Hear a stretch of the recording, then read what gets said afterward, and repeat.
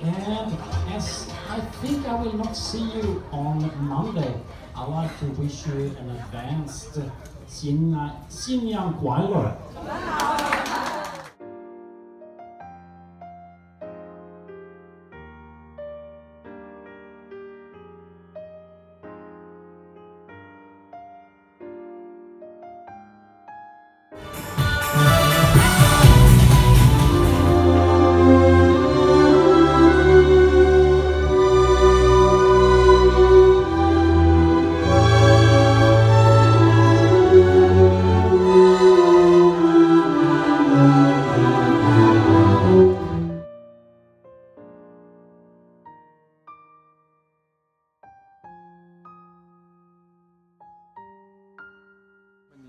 Guests from India coming on board. Usually the summertime is the best time that uh, a lot of families, the most we had was a hundred people in the palace. Exclusively in the palace it was hundred uh, Indian families. So in this case we are preparing special Indian food. We have the Indian menu which we will serve from here. So in this restaurant we will serve and the guests usually make the reservations from here because most of the other restaurants they don't have Indian food exclusively.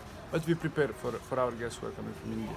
So what kind of Indian food you are preparing? Uh, chicken curry, masala lamb curry, and in uh, some circumstances, some also the guests can uh, ask for some special food. Depends on the occasion. If we can provide, we are very happy also. So you have a chef here, Indian chef. Uh, no, Indian chef is staying at the back. We have back uh, galley, the main galley for the chef. Oh. But he will prepare. We call him, and he prepare the foods for us Uh-huh. and transfer it over here. Yeah, because the, the, here is the Chinese galley, so the food is not mixing. But we prepare exclusive and then we send it to Oh, forward okay. it. Wonderful. Thank you. Fantastic.